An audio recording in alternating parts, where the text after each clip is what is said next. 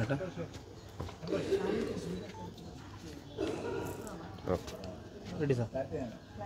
പ്രായം ഒരു കലാകാരിക്ക് ഒരു പ്രശ്നമേ അല്ലെന്ന് തെളിയിച്ച ഒരു കലാകാരിയാണ് ഇന്ന് അന്തരിച്ച നമ്മളെ വിട്ടുപോയ ശ്രീമതി സുബ്ബലക്ഷ്മി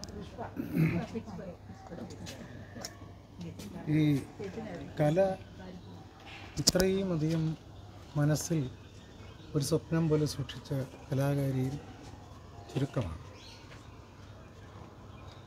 ശരിക്കും പറഞ്ഞാൽ ഒരു പതിനേഴുകാരിയുടെ ചുറുചുറുപ്പാണ് ആ അമ്മയുടെ ചലനങ്ങളിലും പെർഫോമൻസിലും ഒക്കെ.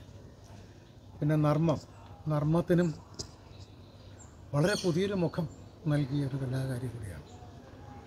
തീർച്ചയായിട്ടും. സിനിമയ്ക്കും കലാ കേരളത്തിനും തീരാ നഷ്ടമാണ്. പിന്നെ ആ കുടുംബം മുഴുവൻ കലാകാരാണ്. നർത്തകരാണ്.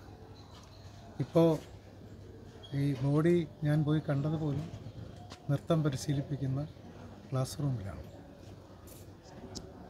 താര പറയുകയുണ്ടായി അത് അമ്മ ആണ് ഇതിന്റെ സ്ഥാപക അമ്മ ഉണ്ടാക്കിയ പ്രസ്ഥാനമാണ്.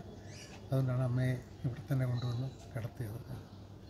തീർച്ചയായിട്ടും എല്ലാ സ്വപ്നങ്ങളും പൂവണിഞ്ഞ് ആഗ്രഹങ്ങൾ മുഴുവൻ സഫലമാക്കി കടന്നുപോയ ഒരു കലാകാരിയാണ് ഇപ്പോൾ ഇവിടെ ഇങ്ങനെ അന്തിമ വിശ്രമം കൊള്ളുന്നത്.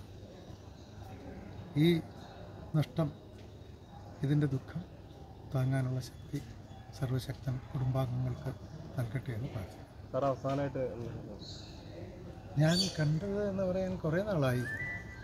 കുറേ നാളായി. കാരണം ഞാനിപ്പം ഒരു ഗ്യാപ്പ് കഴിഞ്ഞാണല്ലോ സിനിമ ചെയ്തത്. അപ്പം സിനിമയുടെ ലൊക്കേഷനിൽ പോകൽ വരവൊന്നും എനിക്കും ഇല്ലായിരുന്നു ഒരുപാട് നാളായി കണ്ടിട്ട്. ഈ എന്റെ ഓർമ്മ ഒരു കല്യാണ സ്ഥലത്താണ് ഞാൻ ലാസ്റ്റ് കാണുന്നത്. അന്നും സംസാരിച്ചു. സംസാരിക്കുക എന്ന് പറഞ്ഞാൽ അറിയാമല്ലോ ആളെ കണ്ടു കഴിഞ്ഞാൽ പിന്നെ അങ്ങ് വാദപരാധ വർത്തമാനങ്ങൾ പറയും. സിനിമയുടെ വിശേഷങ്ങൾ ചോദിക്കും. അത്രയും നല്ലൊരു കലാകാരിയാണ് നമ്മളെ വിട്ടുപിരിഞ്ഞത്